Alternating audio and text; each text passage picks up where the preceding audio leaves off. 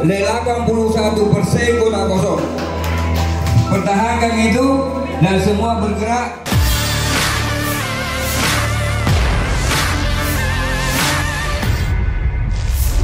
Tim kuasa hukum pasangan Haidir Syam dan Muetazi Mansur resmi melaporkan dugaan ketidaknetralan PJ Bupati Maros, Suhartina Bohari ke Bawaslu Maros, Selasa, 15 Oktober 2024.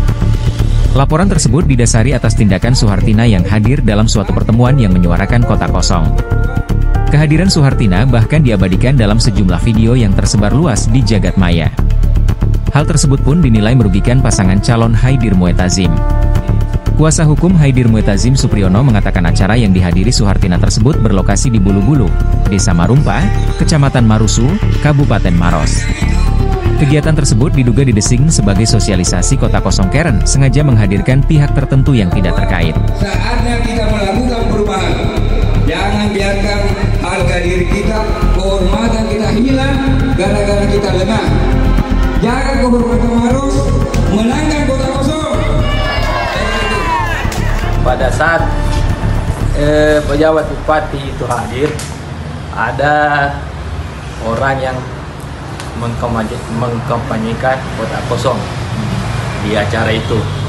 Dan video yang tersebar itu memperlihatkan bahwa pejabat bupati hanya senyum-senyum saja.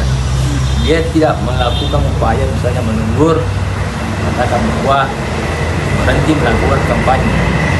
Saya adalah pejabat bupati.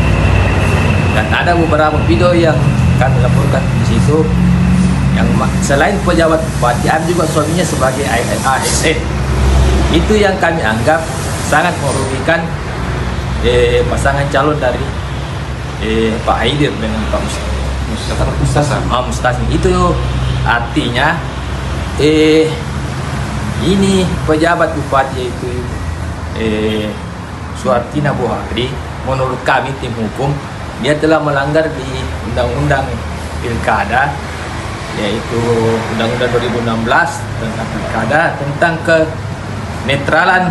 Nah itu yang dilanggar. Jadi kalau orang bilang kampanye dia memang tidak kampanye. Tapi dia berada pada pejabat. Pasal Dan berapa? pasal 71 undang-undang nomor 10 tahun 2016 bisa dilihat. Yaitu pejabat panjang itu anunya pejabat ASN dilarang. Memihak artinya netral. Harus tidak? Eh menguntungkan pasangan calon. Nah itu menurut kami pada saat dia berada di situ dia menguntungkan pasangan. Karena ini kan Koko adalah peserta pilkada juga. Nah itu poinnya. Dan selain itu ada pasal pidananya yaitu di pasal 188 masih mengenai tentang undang-undang pilkada itu tersebut. Yang mana ancaman hukumannya itu mulai satu bulan sampai enam bulan. Saya kira itu intinya bahwa eh, pejabat bupati tidak netral dalam eh, pemilu kada ini.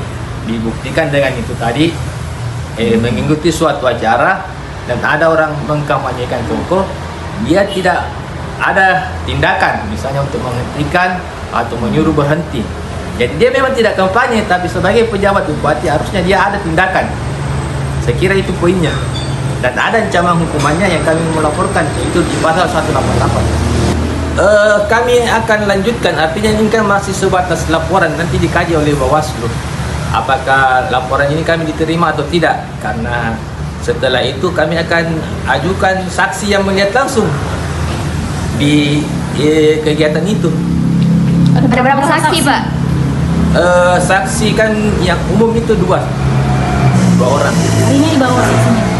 Eh, rencana kami bawa cuma mekanismenya ternyata ditelah dulu oleh Bawaslu. Hmm. Nanti setelah ditelaah apakah diterima maka saksi kami diundang. Download Tribun X sekarang. Menghadirkan lokal menjadi Indonesia.